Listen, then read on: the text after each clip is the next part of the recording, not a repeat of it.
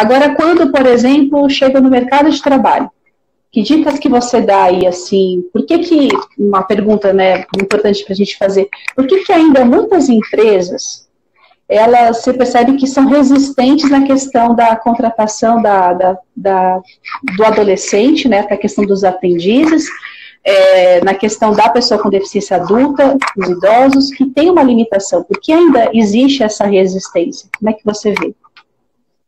É importante, Fabi, esse é meu ponto de pesquisa ultimamente, porque muita coisa a gente não entende, e eu vivi muito isso na linha de frente, né? Eu passei ali os últimos anos que eu trabalhei na empresa, é, fazendo a inclusão de pessoas com deficiência no mercado de trabalho, e é muito delicado afirmar. Mas o que eu vou falar aqui foi pelo que eu vi, pelo que eu vivenciei nas empresas que não foram poucas em que a gente trabalhou a inclusão de pessoas com deficiência, tá? Então, o problema é, é que as empresas nem tentam. Então, o que eu escutava muito era: eu quero. Pode ser cego, pode ter deficiência visual, mas tem que ser uma baixa visão. Cego total a gente aqui não consegue incluir. Ai, pode ser uhum. surdo? Pode, mas ele faz leitura labial? Ah, ele consegue, ele lê, ele escreve, eu posso me comunicar com ele? Como que você faz uma entrevista com a pessoa surda ali escrevendo o tempo todo, gente? Sendo que a língua dela não é essa. Então, assim, eles nem tentavam. Porque tem uma metodologia, é, que é a metodologia que é, que é essa metodologia. Primeiro você inclui e no posto de trabalho, você treina a pessoa com deficiência. Então, se você for avaliar essa pessoa e já, ah, eu não quero surdo, eu não quero cego, eu não quero que seja cadeirante, eu não quero. Era isso que a gente escutava. Então, pode ser cego, mas não pode, tem que ser baixa visão. Porque aqui a gente não consegue ai, é, não pode ser cadeirante porque nossos banheiros não são acessíveis. Ou então, o que eu já escutei, e nem sei dizer se é menos pior ou não, mas assim, ah, o primeiro andar, ele é acessível, então a gente pode colocar ele ali no primeiro andar, ele só não vai ter acesso aos outros andares. Como? Não tem como. Então, é, primeiro é a questão da mentalidade, é uma questão de atitude. É, de vontade, de intenção. Então, vamos fazer? Vamos fazer. A gente tem aqui um cego que a gente já. Olha, tem pessoas com currículos excelentes. É, uma coisa que eu vivenciei muito também. Olha, eu até quero contratar, mas dá para ele ficar aí na instituição? Ele nem precisa vir para a empresa. Ele é registrado, ele recebe, mas ele não precisa vir para a empresa.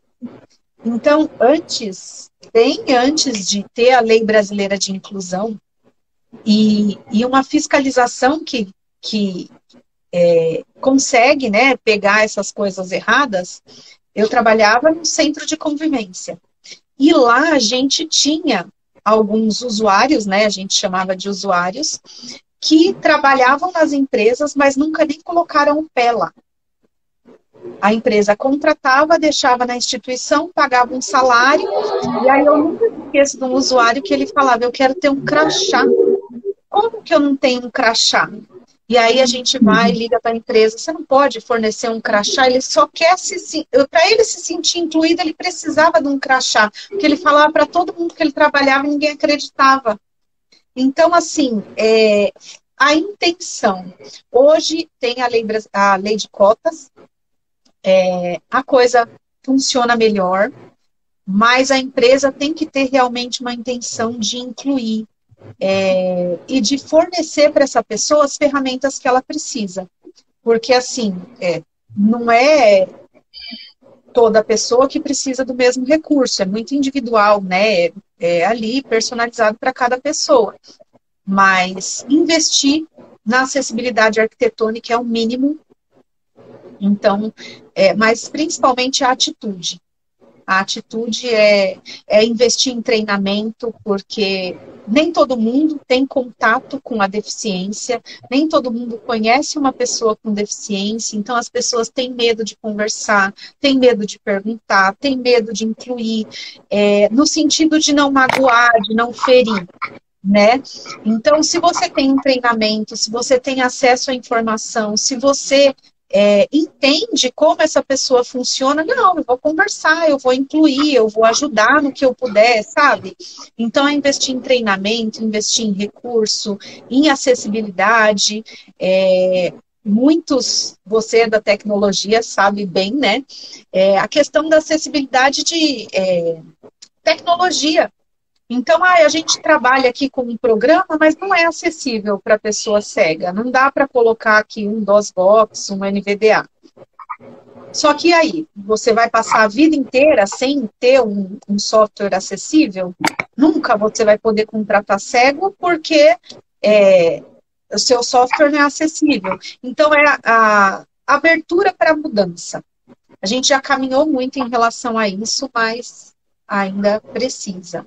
É, tem se falado muito em diversidade e inclusão, ESG, não sei o quê, mas a inclusão é, tem até uma pesquisa, eu publiquei no LinkedIn, é, é uma porcentagem muito pequena das empresas que realmente incluem e que a pessoa é produtiva lá dentro e é feliz, né? Já começa aí. Trabalha feliz, trabalha motivado e consegue produzir esse sentimento né, de, de pertencer ao lugar, né? Acho que a inclusão ela traz esse sentimento, né? Então não Sim. adianta só contratar. Então, se a gente não faz as, atitudes, as atitudes, eu, eu, eu, lembro, Chique, até a gente trabalhava junto, eu lembro de uma empresa que nós fomos, que era uma, é, uma empresa de telemarketing, e era um, um prédio bem antigo, muito antigo, no centro de São Paulo. E assim, é, foi positivo porque assim, a pessoa, ela sabia que a empresa, ela, ela realmente não estava é, assim, acessível, por exemplo, para um cadeirante. Só que ele queria encontrar meios para atendê-lo. Então, é isso que é mais do que você ter um, um, lugar acessível, arquitetônico, é muito mais do que você ter ferramentas tecnológicas. É exatamente o que você falou, é a intenção das pessoas. Sim. Quando tem essa intenção, é, o, o, trabalho eu percebo que é, ele é construído em conjunto. Tanto a pessoa com, com deficiência, ela pode estar contribuindo para falar as necessidades que ela tem, e se a pessoa está aberta, ela vai também construindo junto. Isso é muito bacana. Né? Então não precisa a, a, aquela questão, né? Ah, eu não vou fazer acessibilidade porque é caro. A atitude não precisa ter Sim. recursos financeiros, Sim. né?